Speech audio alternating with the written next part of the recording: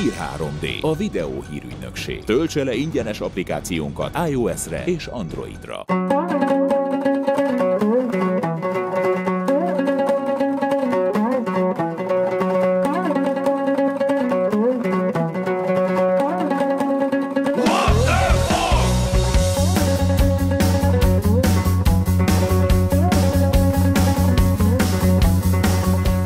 Több újdonsággal szeretnék beszámolni a 19. versennyel kapcsolatban. Kezdem az elsővel, Zsámbékról indulunk, a csodálatos ügyességi pályáról. Egyrészt, hogy a forgalomból kihozzuk a nem kis számú csapatot, másodszorban pedig egyből a közeli szexárdot fogjuk megcélozni.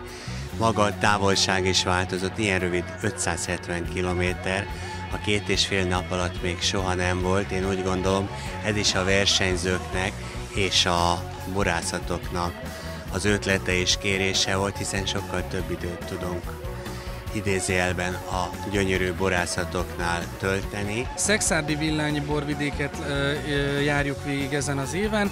Borász szakemberek szerint Magyarország 30 legjobb borászatából 19-et fogunk meglátogatni. Azt gondolom, hogy ennyire színvonalas borkínálattal még a verseny részvevői soha nem találkozhattak.